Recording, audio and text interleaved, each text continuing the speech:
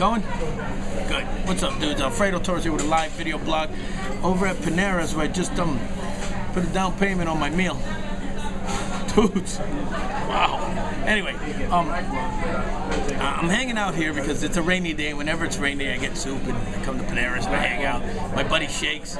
So the video is kind of like, uh, it's his nickname Shakes. Come on, what do you expect? Um,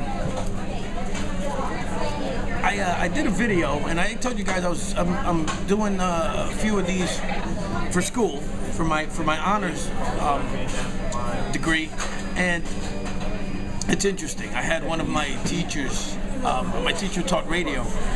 Um,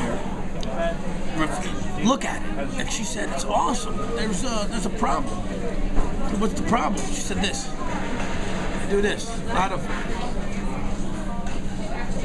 a lot of that. The, uh, the, the nonverbals, as we like to call them, uh, are, are, are, taken away from the message, distracting from the message, and that's kind of difficult, you know, for me because I'm a radio guy. I'm not a I'm not a vi visual guy. I'm, a, I'm an audio guy. So it's kind of um something I need to work on.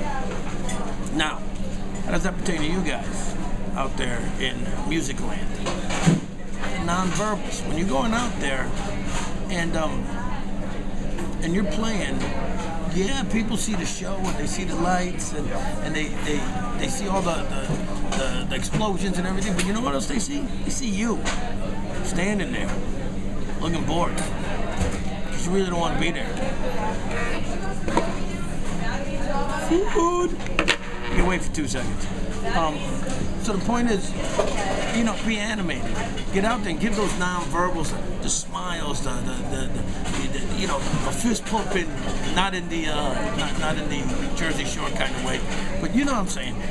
Your non-verbals are important because they're going to tell the, the audience whether you really are into it. And no amount, no amount of cannons, bombs, and lights it's to save any show from a guy who's standing up there.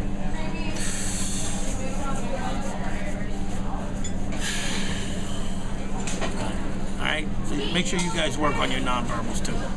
I'm to go eat. Later, dudes.